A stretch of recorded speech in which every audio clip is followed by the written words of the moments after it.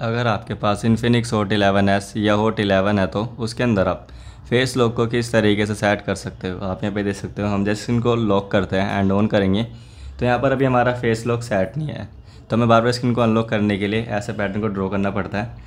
तो हम इसके अंदर फेस लॉक को किस तरीके से सेट कर सकते हैं? फेस लॉक को सेट करने के लिए सबसे पहले हमको अपने फ़ोन की सेटिंग को ओपन कर लेना है। उसके बाद हमें ऐसे नीचे जाना है। नीचे आने के बाद ऑप्शन शो होगा सिक्योरिटी का, इस पर टैप कर लेना है। उसके बाद यहाँ पर आपको फेस अनलॉक पे टैप कर लेना है। आपको एक बार पैटर्न वेरीफाई कर देना है इस तरीके से। और यहाँ पर आपको इस वाले ऑप्शन पे टैप कर लेना है। जैसे इस पर टैप करोगे, आपको नेक्स्ट पे टैप कर देना है। उसके बाद आपको यहाँ पर अपना फेस साइज़ शो कर देना है इस तरीके से।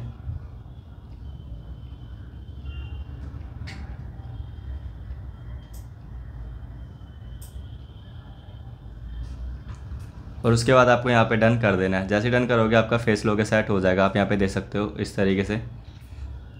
तो आप देखते हो मेरा फ़ोन है यहाँ पर। फेस को जैसे ही शो करेगा ऑटोमेटिकली अनलॉक हो जाएगा। तो इस तरीके से आप अपने डिवाइस के अंदर भी फेस लॉक को सेट कर सकते हो।